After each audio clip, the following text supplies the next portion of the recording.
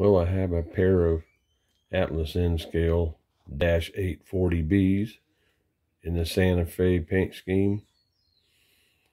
Um, I've added sound to these using ESU LokSound V5 micro decoders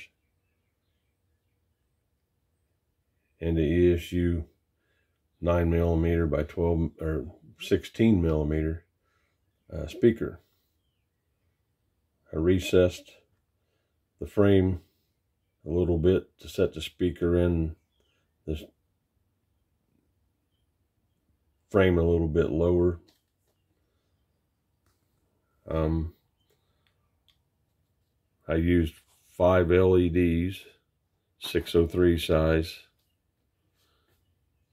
two for the headlight, front and rear, two for ditch lights, and one is actually for the number board. And that's what all this red and blue wire mess is. That's the uh, LED wiring.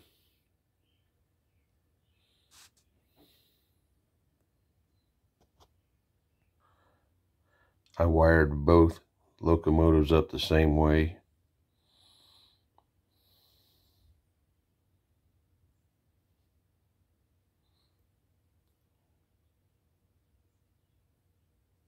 Now the V5 micros are hardwired.